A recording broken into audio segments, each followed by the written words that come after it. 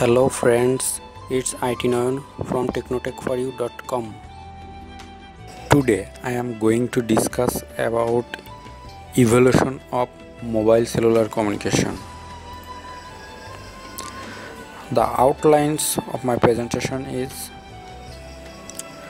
definition of mobile cellular communication, generation of mobile cellular communication. There are fifth generation future generation and at last I try to give your questions answers the definition a cellular mobile communication system uses a large number of low power wireless transmitters to create cells in the basic geographic service area of a wireless communication systems. All cells are interconnected through a central exchange called mobile telephone switching office that means MTSO. Now we discuss about the generation. There are six generation of mobile cellular communication these are first generation second generation 2.5 generation third generation fourth generation and future generation now we discussed about the first generation the feature of first generation is service only voice technology analog.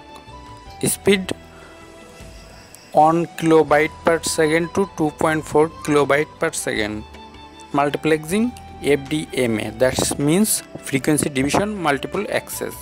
Switching circuit switching. Frequency 800 to 900 MHz.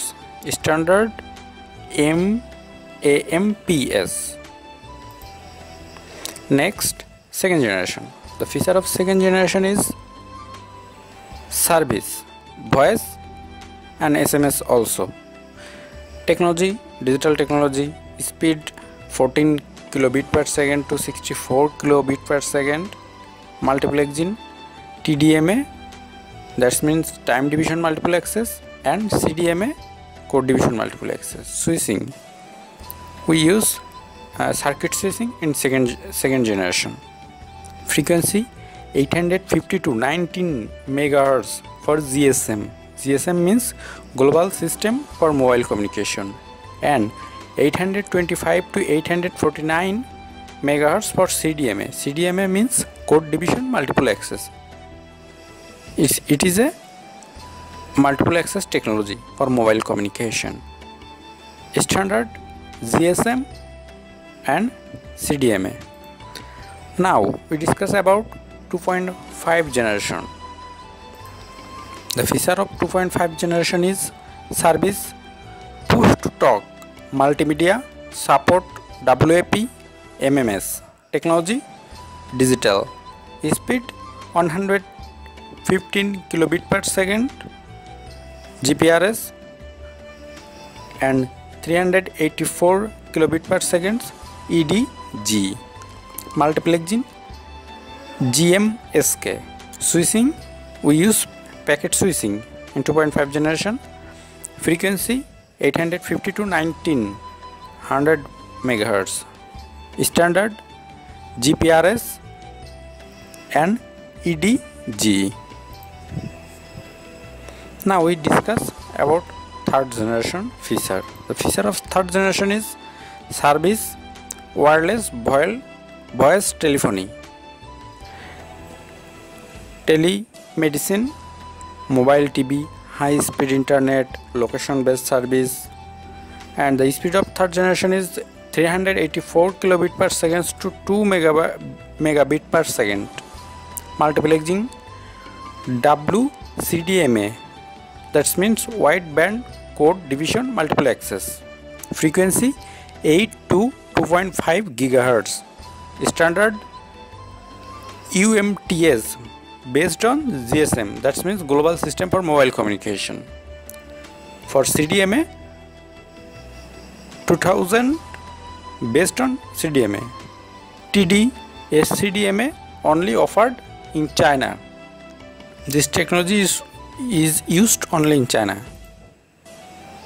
now we discuss about four generation The feature of 4th generation is service IP technology, 3D TV, cloud computing and the speed is 100 megabit per second while moving and 1 gigabit per second while stationary. Multiplexing OFDMA Multi-carrier transmission MC CDMA. This is the multiplexing technology. frequency LTE standard covers a range of many different band. Standard LTE TDD, LTE FDD.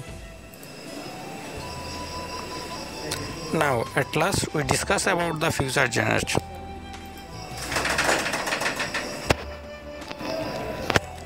The future of future generation is service. parallel multiple access. Speed 1 to 10 gigabits per second. Multiplexing CDMA and BDMA. Frequency 3 to 300 gigahertz. Standard IP broadband LAN and PAN. Support IoT and M2M. Home-based ATM systems.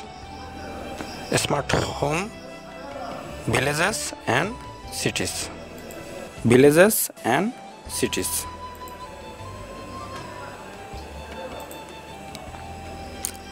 uh, if you have any question please comments here i'm trying to give your questions answers thank you very much see you later please subscribe my channel thank you